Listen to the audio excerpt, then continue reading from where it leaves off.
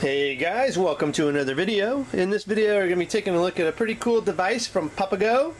Uh, and this is uh, a tire pressure monitoring system, so this is going to fall into our uh, automobile tech or auto tech uh, category and playlist. So let's go ahead and take a look. So a lot of vehicles today, uh, some of the newer ones, the fully loaded ones, have a built-in tire pressure monitoring system.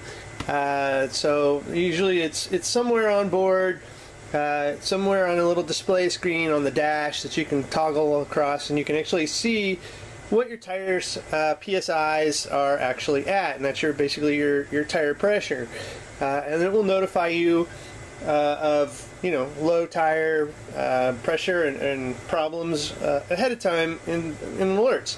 But a lot of vehicles, especially the older ones, even the newer ones, if you don't buy those fully loaded ones, like uh, you know I, I, have like a 2012 I think uh, Nissan Xterra, does not have that built in. Okay, so this system is for those vehicles older, newer that do not have this built in. And this is a tire pressure monitoring system this is the GoSafe TPMS 100 from Papago. Uh, and so let's go ahead take a quick look at its tech features and stuff here uh, and what you get in the box. So obviously it has one uh, receiver with USB charger and four sensors. Each one's going to go on a specific tire on your vehicle. Each one runs on a CR1632 battery, which those are included. You get four of them. Uh, this comes with a hex hexagon nut wrench, an uncap wrench, five hexagon nuts, a user manual, and a warranty card, uh, all built in. This is at a frequency of 433.92 megahertz is what it communicates on. Uh, the pressure range is 0 uh, bars to 3.5 bar uh, and 0 psi to 51 psi's and its accuracy is within 1 psi uh, which is really that's about all you can ask for, especially with temperature fluctuations and stuff like that. You know, it, it's good to have actually within one psi. So this thing is going to be uh, definitely worth it. Uh, and this runs on a battery. Like I said, it's a 3 volt CR1632. Uh, each sensor has that built in. So let's go ahead, pop it over here on the back, see what it says its features are. Uh, easy installation within three minutes, accuracy of like plus one PSIs. It's light and compact, wireless transmitter. It's water resistant, better be on your tires. USB port on the LCD charger, so you're going to get a USB charging port uh, on the uh, receiver. Anti-theft sensor uh, mounting design, so don't worry about somebody trying to come around and steal this.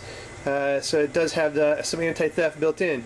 Uh, abnormal pressure warning, so it's going to give you those alerts uh, on your uh, tires when you start to have issues. Time to go air them up, or uh-oh, you've got a slow leak, you need to get your tire fixed, or just uh-oh, you're going to have a flat soon because you ran over something. Uh, monitor tire pressure and temperature continuously. Okay, so not only does pressure, but it does temperature. All right, let's go ahead and stop looking at the box, talk about it. Let's go ahead and open it up, check it out, and then we're going to get this installed and then definitely see what it offers. Alright, so here we go. The actual tire pressure sensor itself, as you can see, looks pretty easy to install. And this is front left. So hopefully you can see that when we get it down the light. Front left. So make sure you get these on the tires correctly. You got front left, front right, rear right, rear left. And then you have the actual receiver. So you can see there, goes in like a uh, power power port cigarette lighter in your car. Got a little LCD screen here, and it has a USB port, so you can charge things from this. So you're not going to give up if you've got one of those little car chargers in your uh, power port. You're not giving that up. It still comes with one. So that's cool. What else do you get in the box? Let's take a look. What's under the box? Everything we should have read off earlier should be in here. Get a little hexa hexa wrench or whatever they want to call this mount. Cool. There's a little uh, more of a little wrench. The nuts. All sorts of little things. And this is for your anti-theft. This is to make it so somebody just can't come around and unscrew that and steal it. Because that would suck, especially if you invest money in this thing. Here's your batteries. Little uh, 1632s. And user manual. How to install it. Here we go. Alright guys, so what we're going to do is we're going to break the video right here. We're going to get this set up uh, on the vehicle. I'm actually going to put it on my Nissan Xterra, uh, like I said, my 2012 Nissan Xterra, because it does not have this kind of a system. Now, I also have um, a 2015 uh, Nissan Altima. It has this built in. I don't have to worry about this on my Altima. It's got the tire sensors built in. I can click a little button on the on the steering wheel and bring up the tire uh, sensors. Now I can only see it when it's driving though, so um, you know we're going to look at that. Can you see this when you're just stationary? You know, when I start the car up, is it going to tell me exactly what they're at without having to drive? Because that's a limitation in some of the newer cars. Those sensors and stuff on there, you've got to be driving to get those readings. So do we do we have that in this?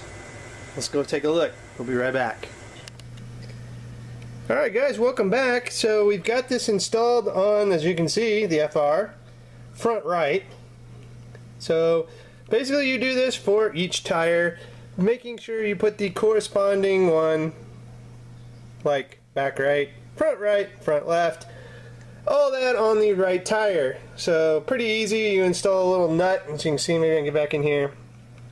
Uh, there's a nut back here uh, you install the anti-theft device thing on the back of this and then they line up and they touch the nut and no one can come and just unscrew these. You have a special little wrench down here and another little special wrench that I showed you when we unboxed it that actually gets the anti-theft device on there and will help you get these off. So if you take this into your tire dealership or tire dealer or whatever, uh, be sure you give them the proper tools or they're going to be SOL on getting your tires aired up or fixed or whatever.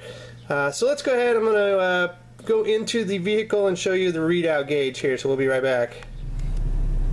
Alright guys, so when you first install these, you will get a readout uh, on the actual display adapter. So here I've actually uh, put it in this little portable uh, power socket here so I could show you a little easier.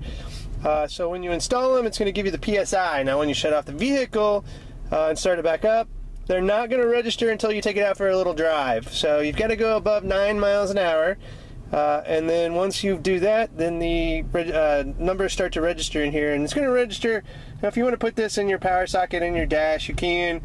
Uh, if you want to do like I've done here, you can do that as well. And now you can see each tire is registering how much PSI uh, it has in it. So as you can see, uh, the two on the uh, upper here have 35 psi's and the backs have 34 uh, so that will tell you exactly uh, how much uh, psi you've got in your tires. So again if your vehicle doesn't have this feature a lot of new vehicles do a lot of new vehicles don't.